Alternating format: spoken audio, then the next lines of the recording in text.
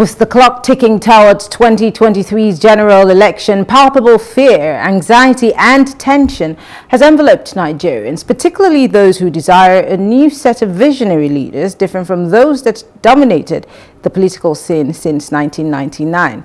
The atmosphere is already charged and discussions on politics have suddenly become the preoccupation of majority of Nigerians. Now many, especially the youth, continue to show willingness and preparedness to participate actively in the electoral process like never before. However, despite these uh, apparent enthusiasm, there are still concerns that the electoral umpire, the Independent National Electoral Commission, INEC, may not be able to deliver free, fair and credible elections come 2023. Well, joining us to discuss this and more is um, Mr. Katch Onunuju, he's the special advisor to Peter Obi on public affairs, Emmanuel Onwuka, who's a broadcast journalist, Opunabo Inko-Tariah, a civil rights advocate, and Jide Ologun, who's a legal practitioner. Thank you so much, gentlemen, for joining us. Thank you. It's my Thank pleasure. you, Miriam. All right. Opunabo, yeah, Opunabo, I'm going to start with you. We, we talk about, you know, good governance. You know, we're pushing for good governance, we want good leadership. But what is the idea that we have of good governance in Nigeria, knowing our antecedents, where we've come from? Um, because I'm asking because we see a lot of, you know, um, people say, oh, um, one, this, the, the, the, former government was better than this. I mean, even though we thought that was bad, it, it, it kind of is better right now. So again, we seem to be slaves of the past. So what do you think the idea of good governance in Nigeria actually is? Well, when you say governance, governance is all about the pattern of governing. And um, if you say good governance, you're actually making reference to a pattern of governing that positively impacts on Nigerians, those you govern. There, as a government, you have a social responsibility, a social contract with the government. Uh, there are basic amenities that you must provide. Of course, in Nigeria, we say the principal role of the government is to provide lives and to protect lives and uh, uh, property, uh, ensure security in the country. These are the principles. But of course, you have other roles that you could refer to as auxiliary roles that are equally very important, quite crucial. Uh, you're talking of provision of amenities such as uh, pipe-borne water. You're talking of um, creating conducive environment for businesses to thrive, and a whole lot of them. But unfortunately, in Nigeria, there is a vast understanding of what governance is all about. And that is simply because you have people with distorted perception of life accidentally discharged onto the political surface. People who have a misunderstanding of what government is all about. Those who believe that while you're in government, you're there to feather or line your pockets. And so they go in there to please the treasury dry. Growing up as a kid, uh, take for example, you find somebody who from 1999 to date has never worked in any private organization, has never done any private business. He's been in office from 1999 to date. Mm. And without any compunction, without any remorse, such a person flaunts the fruits of his crime, ill-gotten wealth. And the society applauds such a person. The person becomes a role model so when you, how do you expect the younger ones? You see, it cuts across every facet. Even the educational sector, you have somebody, a parent, who will tell his son, no matter what it takes. And that is the beginning. No matter what it takes, all I know is I want you to graduate. Don't come back to me to tell me that you failed because you received you refused to give the lecturer money. Whatever it will cost, go. And those are the same characters that will become the governors, the ministers, and the presidents tomorrow. And you cannot bequeath what you don't have. So if you don't have what it takes to be a good leader, of course, definitely when you get into office, you're going to be with that deficit that it's already in you.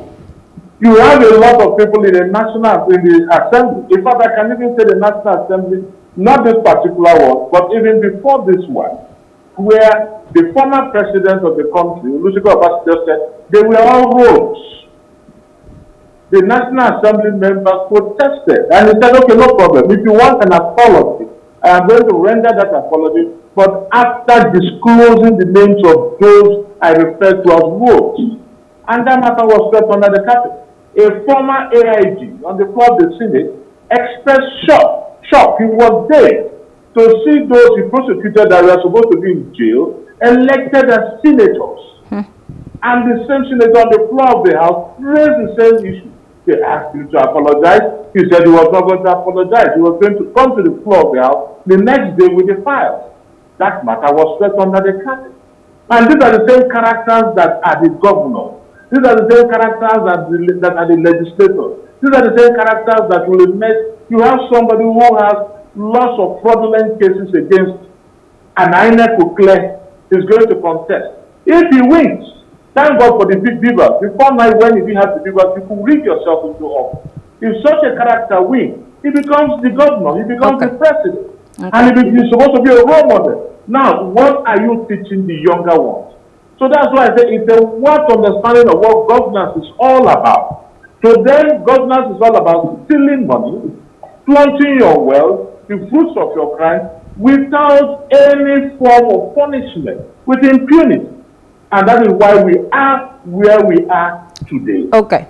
Thank you very much. Let me come to you, um, uh, Barrister. Um, it's very interesting to look at things from the perspective of um, Opunabo, but then it's interesting because I, I, asked the question at the beginning, what is our idea of good governance? Because I, like I said, we have had all different kinds of government and half the time we ask these people to leave because they didn't fulfill their promises or the government that they, the leadership, the qualities that they seem to possess do not necessarily fit what we want. So again, I'm going to push this. Have we as a country ever experienced good governance? whether it be under a military administration or civilian rule, have we ever, as a country, um, experienced good governance? And, and how can we uh, go back to attain that, if there be any? Definitely. Uh, immediately after our political independence in 1960, we became you know, a republic in 1963, and the economy of the First Republic was quite buoyant. But at that point in time, we relied on agro uh, economy, we relied on gas. Despite the civil war, even in the early 70s, General Gowon, retired, who was the military head of state, came out to announce to the world that the problem of Nigeria was not having money, but knowing what to do with the money. Hmm. And if you recall, that was the time when there was an attempt to reform the civil service structure in Nigeria. And though there were recommendations given, the one that attracted the stakeholders was to award the Udoji, the Udoji Award, you know, and money started flying. And that was about the time ostentatious living, you know, came into the civil service and into governance, generally speaking. And there was the time we had our oil boom. So you find out that when Nigeria set out, as a politically independent uh, nation, I mean, we were doing well until gross mismanagement came in massively to question the fact that should we even have been allowed by the colonialists to handle our resources. And it is because we have not connected with the concept of good governance. And let me express what President Joe Biden said at the recent US Africa Leaders Summit. You know, Joe Biden in his closing remarks said that Africa's economic transition depends on good government. And when you talk about good government, Mr. Panibo mentioned something that is sacrosanct, and you can find that in uh, section 14 subsection 2 of the Nigerian Constitution 1999 as amended, that says that the security and the welfare of the people shall be the primary focus of government. So you know, Joe Biden said that the, the future of this continent, particularly Nigeria, it depends on good government, healthy populations, reliable and affordable energy. You know, and this is what we attract investors into the nation. And security is very important. But today, how many global investors we want to come and risk their resources to invest in Nigeria? We have mm -hmm. been doing uh, blame trading on insecurity, you know, correctional facilities attacked. There was simply a threat to kidnap the president and commander-in-chief of the armed forces. And when you look at the economy, if you read section 15 of the Nigerian Constitution 1999 as amended, it says that our resources should be harnessed in a way that we have a self-reliant economy that will provide maximum happiness for the people. You know, that wealth is not concentrated in the hands of few. You can go and read more up to section uh, 18. And can we claim to have that? Recently, I was shocked that um, Nigeria lost about $2 billion to all thieves. So when you talk about good government, there must be security for the people, there must be welfare. And when we talk about welfare, there must be sound education for the citizenry. There must be power, energy for the industrialists. The tax regime must be enabling, not disabling. The social fabric of the society must be built on the concept of unity. You see, so, and I mean, can you, uh, can you try to explain to me why a nation that has the largest deposit of proven gas in Africa has about 133 million of our citizens within the multifaceted poverty bracket. So you find that uh, rather than maximize the overflowing resources God has given us, that we have mismanaged. And what is good governance? Good governance is creating commonwealth for common good.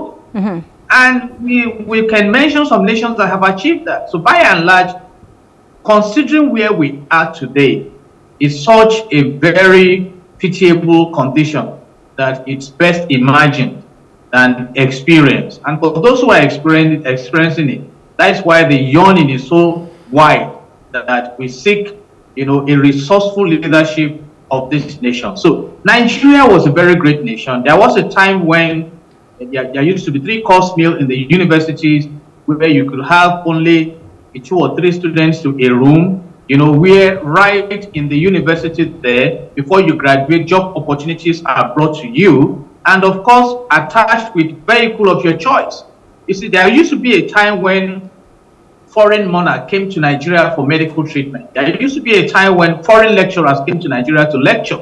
You see, there used to be a time when things were rosy. You know, I mean, but those those were in the past now. But for some of us, we look forward to a new narrative of, of this nation. And that's why it's so important now that as we are approaching uh, the elections, we are setting the agenda for good governance. And may I echo that good governance is the creation of commonwealth for common good.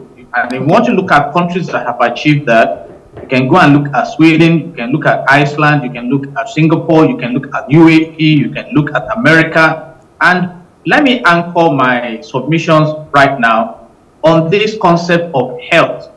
I mean, I'm looking forward to when the Prime Minister of the United Kingdom will come to Nigeria for medical treatment I'm looking forward to a time when elections will be coming up in the UK and the politicians come to Nigeria to hold their meetings. You see, and these are symptoms that has shown that okay. rather than grow as a nation, we have not since our since our over 60 years of political independence. Okay. So we are far away from good governance. But that is not to say that we cannot retrace our steps and you know, right now Nigeria has nothing less than 40 mineral resources that can make us prosper in overflowing abundance if okay. we can only have resourceful leadership. All right, let me go to Katch. Um, we're setting the pace for this conversation by looking going back for us to be able to go forward.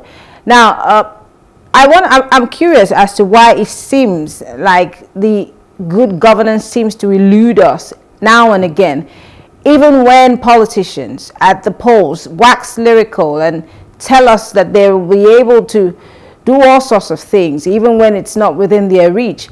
Uh, and then once they get into office, the story changes and then it's a totally different song and dance.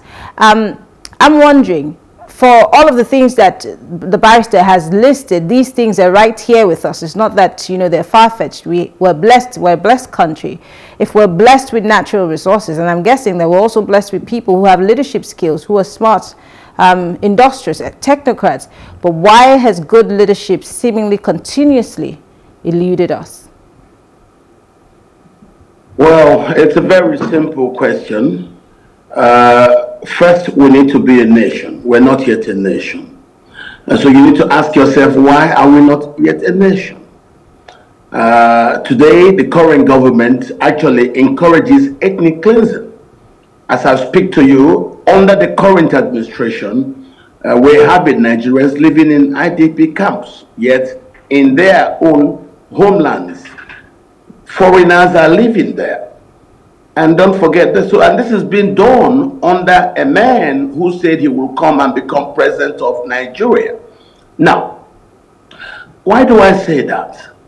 And everybody keeps quiet, and most people are very afraid to even speak up. And that was why I was very encouraged when one of the candidates visited the IDP camps.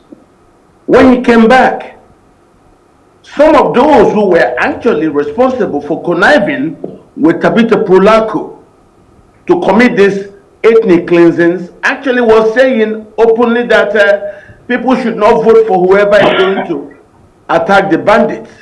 Tabital Pulaaku is a West Africa wild Fulani vigilante organization. It is responsible for the violent actions you see across Nigeria, in which right now what they are doing is a slow motion war using ethnic cleansing to gain ancestral land so as to be able to resettle foreigners across Nigerian uh, villages and ancestral lands. But the owners of those lands, as I speak to you, are in IDP camps.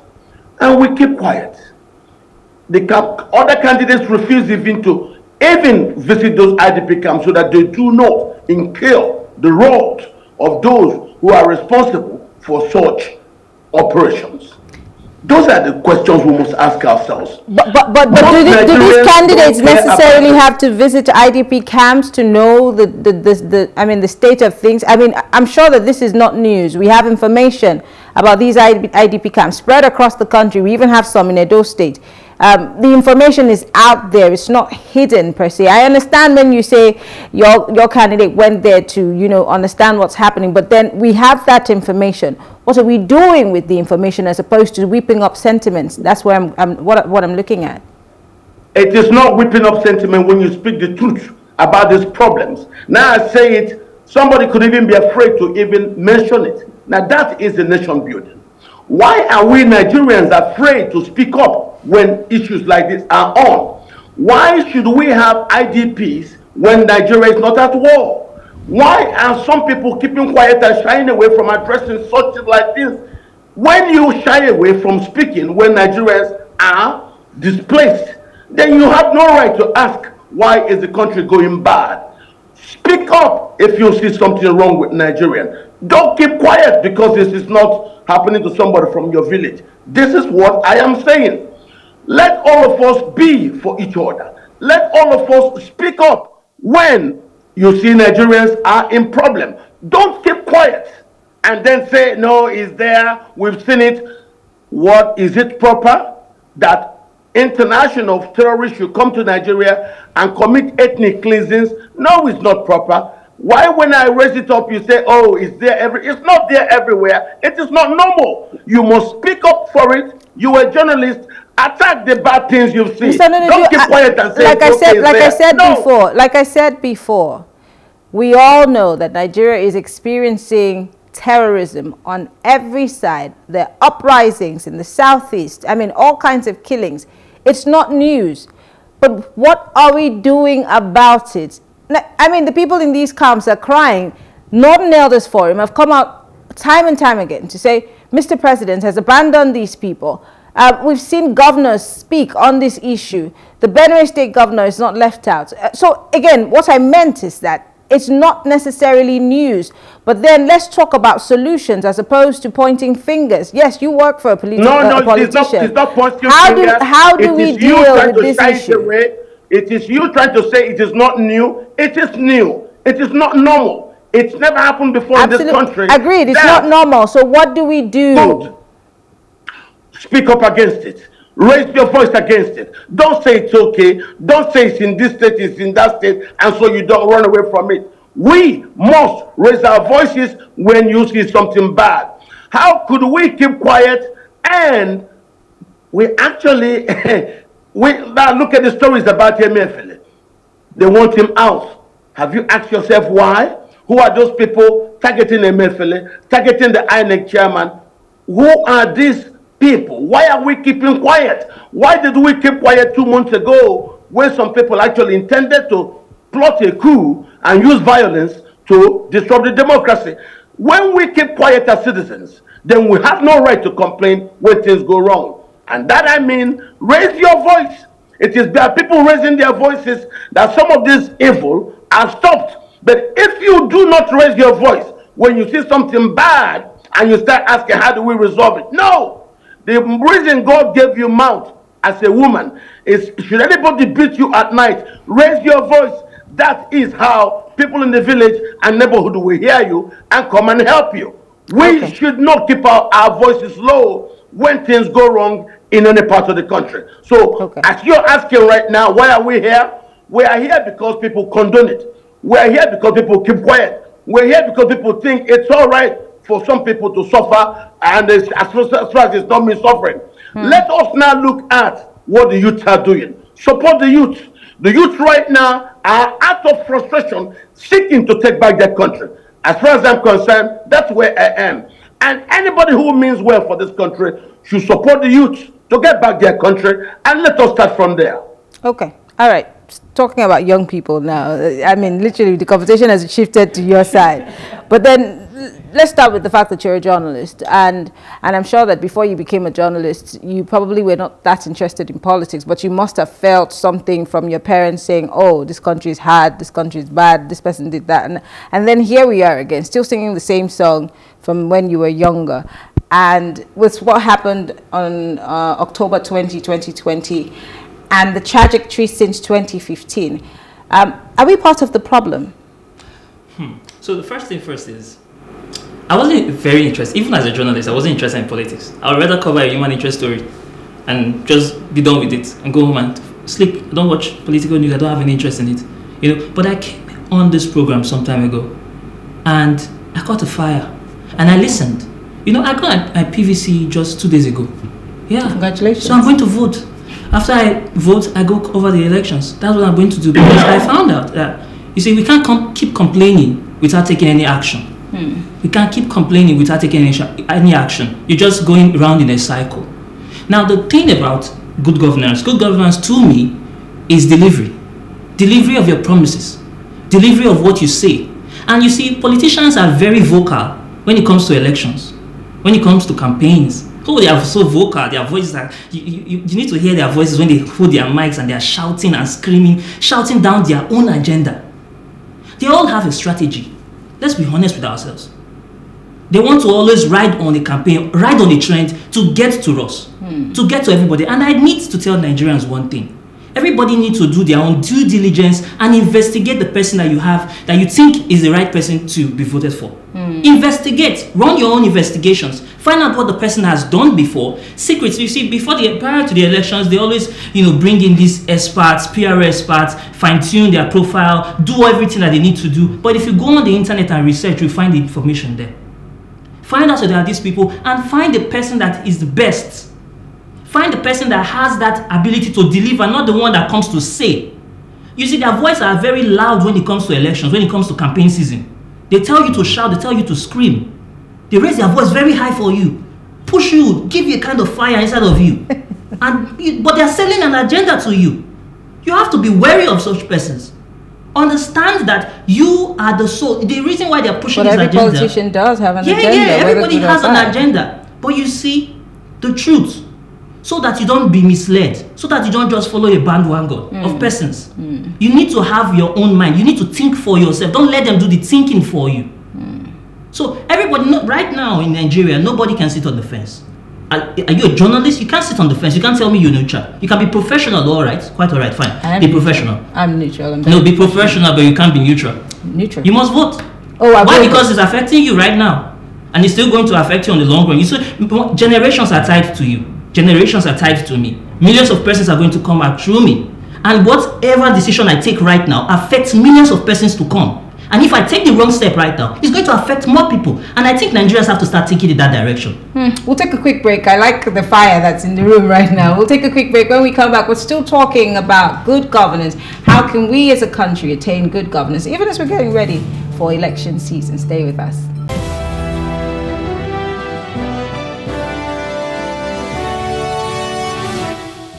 Still talking good governance and the need for us to push for it while we get ready for the 2023 elections. We still have in the studio Jide Ologun, Opunabo, Inko Tara, Katch Onunuju, and Emeka. Uh, Emmanuel Onwuka.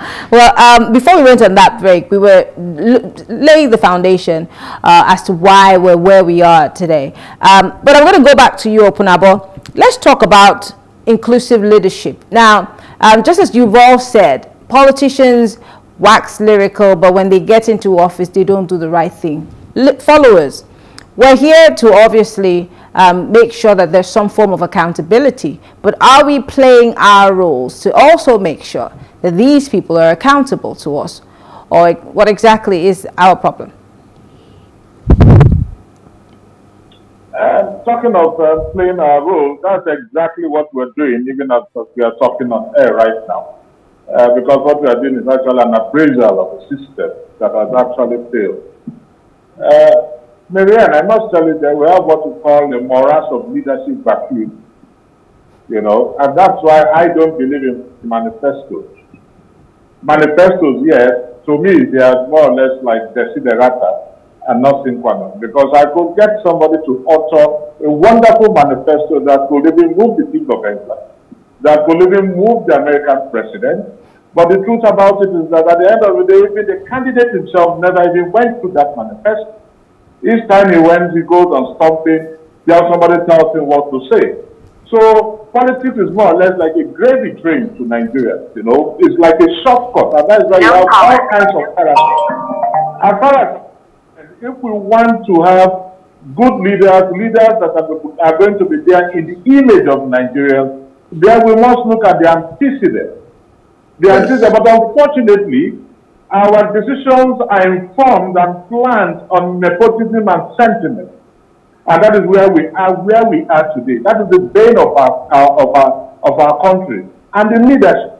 But if we now look at the antecedent of most of these people that have come out to contest for some of these offices, we are not definitely going to vote for them because the baggage stinks.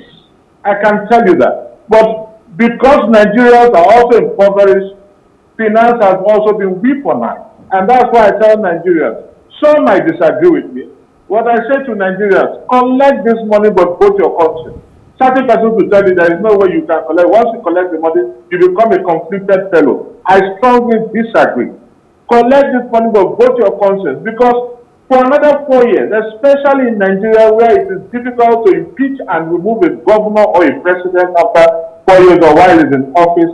For another four to eight years, you have sold everything, including yourself, for a mess of porridge. And what will that amount to? The cataclysmic leadership we are having right now in this country as we speak right now, where you have a president that is as constantly embarked on a long sojourn in a land of inertia is not bothered about what is going on in this country. So if we have to get somebody that will come and hew us out of this mountain of despair, that will move us from the fatigue of despair to the buoyancy of hope, somebody under which bright steps springtime will be born in this country, we must go to the antecedents of that person. Fortunately, all the candidates, prominent candidates today, have antecedents. They've been in office at one point in time or the other. So let us look for the one without sentiment. Let us, because it's like rain. When it's going to rain, it's going to rain on every roof.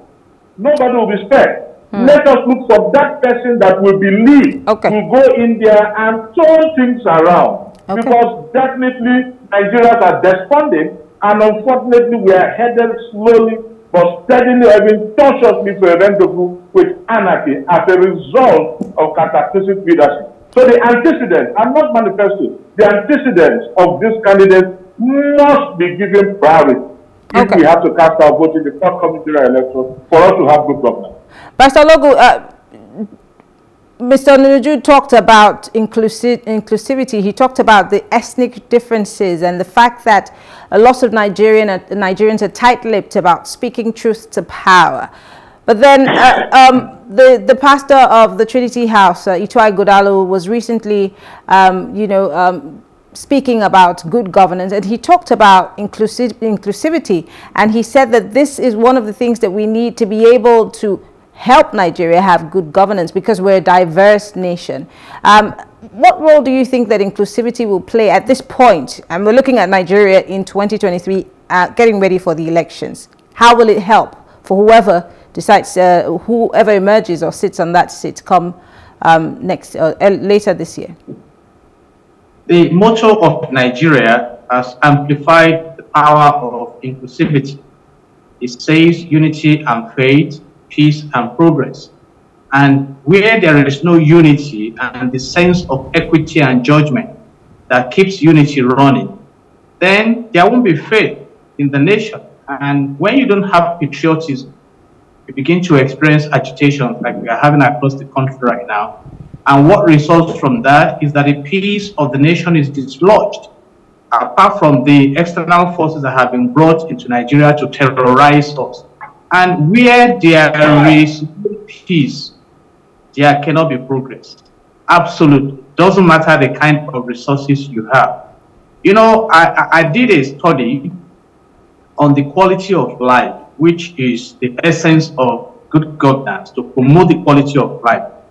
And number one top country for quality of life in 2022 is Switzerland, about 195.6 uh, Uh, percent rating.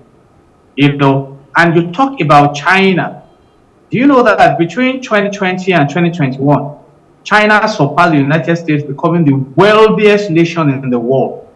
In fact, China is discussing prosperity, not poverty, because China has enthroned prosperity in that region. About 90% of the citizens are approve of the government. About, I think about 1.3 billion have access to health, insurance, and the care for the elders and things like that. That's what we're talking about. As I speak to you now, I'm running on generator. You see, apart from the noise pollution, the cost, you are running generator. What is the cost of this? So when we talk about inclusive, it's not about it's about what experience are you giving the people? What experience? Difficulties everywhere, you know. And I mean, look at the last Christmas. I challenge my great brothers and sisters in the southeastern part of the country, in particular. How many of you traveled for holiday? So the culture of that region of our country is fast changing. Look at the train attack. In March 2022 or thereabout, there was a train attack in Abuja. And we discussed surveillance and the need to, to equip uh, for security purposes. Look at the one that happened in Edo State. The one that happened in, in, in, in between Kaduna and Abuja. Even though the government, you know, succeeded in getting all the captives out, how many of the kidnappers were arrested reportedly or even prosecuted? So what sense of belonging are you giving the people? Even the elections we are, we are, we are approaching now is so ethnic driven, religion driven, and you keep asking yourself, the UAE is managed by Muslims. They are prosperous. United Arab Emirates, inclusivity. So what happened in Qatar? Qatar, Qatar made a lot of profit. And it brings us to the same good governance we are discussing. We've been talking about Qatar building the first air-conditioned stadium in the world, and they achieved it. Nobody embezzled the money. EFCC is not chasing anybody anyway. You see, so, and they didn't allow religion to, to scuttle that big event, and they're going to benefit from it for a long time. We are still asking in this country, who are the oil thieves? So whether you are from Meduguri, whether you are from Arochukwu, I've been to all parts of this country by the grace of God. We have wonderful around the country, but who are these cabal? We understand the sponsors of tourism in this country are about 400. Who are they? Who are they? Who are the oil thieves? When you talk of inclusivity, I'm sure that if you do effective profiling, all the ethnic regions in Nigeria are represented among the oil chiefs. Let them come out and, and, and defend themselves. So we are asking that whether I'm from uh, Kaduna or I'm from Yobe or I'm from Anambra, you know, let's have a sense of belonging. And if you want to study a template in Africa that has achieved that, go to Rwanda. You don't even mention ethnicity in Rwanda. You are a Rwandan. And that is why that region is one of the fastest growing economies in Africa. But, but, but that's so because Rwanda had to learn the hard way. They also were somewhat, you know, uh, dancing have, around have the same situation that we have, have right now. I was making some so, reference. now we are so talking about why, why won't you, in this country. Some people have been moving around with daggers for years as part of their dressing culture. We were talking about quota system. Where is the equity in the system? That's what I'm saying. Okay. I have never read that because somebody is from New York or Maryland in the US, so you have access to the university and someone from Texas will not have access on the same score. So we have created a system that is pro promoting injustice. And where there is no justice, there can never be good governance. That's okay. why All right. I appreciate one of our colleagues here saying that we need to speak up. We have been speaking up.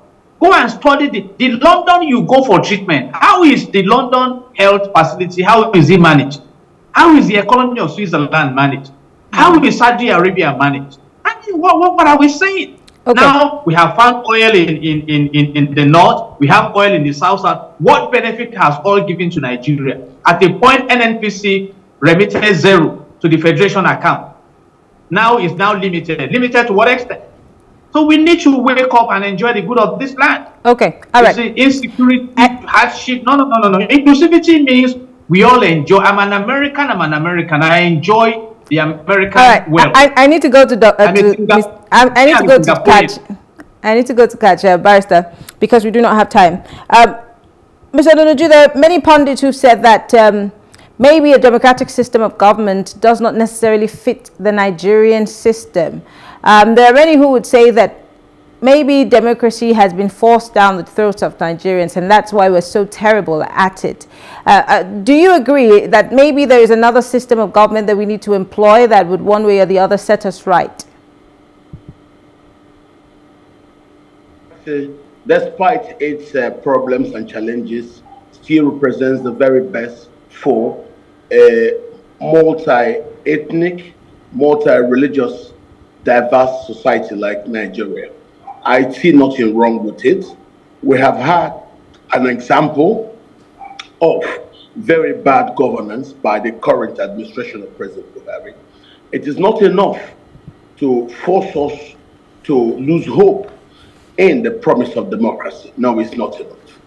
Buhari failed simply because he failed to embrace Nigeria as a nation of diverse people. Now, yeah, he simply sought to employ nepotism as policy, and that's why his administration failed. There are no two ways about it. But that he failed does not mean that we should lose hope in the promise of democracy. We must continue to do it. It is due to Buhari's failure that awareness was suddenly forced upon the land, and due to that availability of awareness, the youth took charge as it's been historically. Whenever in any society the elders seem to disappoint the youths, the youths have always been known to force their ways forward and then take charge as they are currently doing. So I believe, as I said earlier, we should never shy away from speaking up. You, nobody will kill you. I ran a particular program on television for up to seven years, and I was very successful in bringing light and being able to actually push what I wanted and bringing a lot of information for people to understand. Most people didn't understand before that there was actually uh, a, a, slow motion war for ancestral land across the, the country. Some people thought there was a truly, as being banded by politicians, a farmers' herders crisis. There was none. It was a simple strategy to deceive the population, whereas the slow motion war, which was being supported by the administration, sustained. Why did it sustain? People kept quiet. We refused to speak truth to power. Don't stop. Democracies flourish when citizens are awake to alert other citizens about wrongdoings by politicians or by those who seek to hijack the institutions of state. But what is a democracy if you just talk and, and, and then other forms or, or, other things that make up a democracy doesn't work? For example, Open Opunabo did say that it's, it's unfortunate that you cannot actually probe certain people or um, get them out of office while they're in that seat, especially uh, for members of our National Assembly. It seems like a, a thug of war of sorts. Uh, and again, why is it a democracy if the court systems are flawed? if the legislature is a rubber stamp one, I mean, why do we call it a democracy? What is a democracy if all of these things do not work? You, you do not keep quiet. You don't give up hope. But what is it shouting for if I cannot get a result from just shouting or speaking up? We can get results. Take, for instance, Mr. Peter Obi went forward, accused the government of the day that its members are responsible for the oil theft. What happened? As he sustained, they went back and they suddenly stopped doing that. You cannot stop simply because sometimes you don't succeed. No, keep trying. Don't stop. Don't give up hope. We cannot afford to sell despair to our millions of citizens. We must continue to do that thing. Okay. Don't stop. Don't stop because it didn't work the first time. Continue to press your game. Continue to sustain. It took a lot of targeted action by Peter Obi as he kept speaking for NNPC to agree that yes, the oil was being stolen by people in government. And what happened today? They have stopped the stealing, or at least we have seen that they have now made a declaration really the? Of, of, the production. Hmm. So we cannot afford to keep quiet. Okay. The fact that we can talk means things can get well. Okay. Don't stop ever speaking to power. Okay, back to you, Manuel, uh, and I, I, I want to end with you. Um, you did say something about doing background checks and yeah. not just relying on what the politicians say because you know I've heard Jimmy Dusu say you can get a really good manifesto anybody can write a manifesto you can sit in the UK and write a really good manifesto and the man whose the manifesto is being written for has no idea what's in the manifesto um, but then also um, as stakeholders whether it's be the media civil society the voters, every single person, young people, women, people living with disability. Um, there's a lot of uh, information that's available to us, but we hardly go for that information. We bear, we rather go for hearsay. We, we forward these messages on social media or WhatsApp uh, that sometimes is propaganda. Um, is it, is it, does it have to do with illiteracy or is it just outright ignorance? Laziness. Hmm. People like to be spoon-fed. They don't like to do the work. They don't like to take their time and do research. I was reading something. But they tell you as journalists, you don't do in Nigeria. You people are not doing investigation. Mm -hmm. You don't investigate. They, they, uh, funny enough, they tell us that we don't do investigations. They come to the media and they tell us that oh, you don't do investigation. You don't investigate. Do you do anything? Do you do anything? Even research. You when your professor say go do research, you go there and you go copy something there. If not because of all these little apps and all the rest sites that are there that are catching their little failures, you know. But they don't have the time to actually go out there and actually do the research and hear from the main source about these persons. Ask relevant questions. Don't wait for people to come to you and start telling you this and start telling you that and start making because this is a very sensitive time.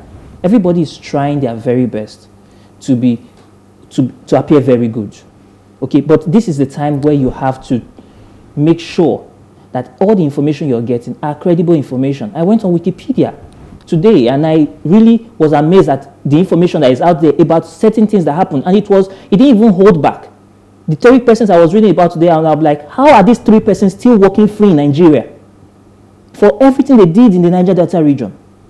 So these are some of the information that is out there for every one of us for us to go there and read about these persons.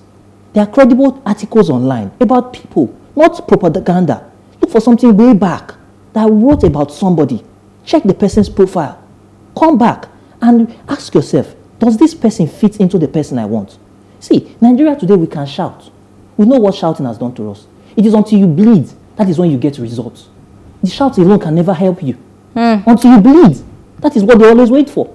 We need to be able to to petition our government and then hold them responsible. There were things that some persons in the House of Assembly, some persons in the in the Senate did or have done, and that were worthy of them stepping down. But today they are still there. There are people that held that place down like it's their own um, private property, like it's Ikwe man's land. They should. well, I want to say thank you uh, to all my guests today. I want to say thank you to Katch Onunuju. He's a special advisor to Mr. Peter Obi on public affairs. Emmanuel Onwuka is a broadcast journalist. Opunabo Inko-Tariah is a civil rights advocate. And Jide Ologun is a legal practitioner. Thank you so much, gentlemen. I don't think that this conversation should end. I think we have to continue in this uh, conversation some other time. Thank you, Miriam. Thank you all for coming.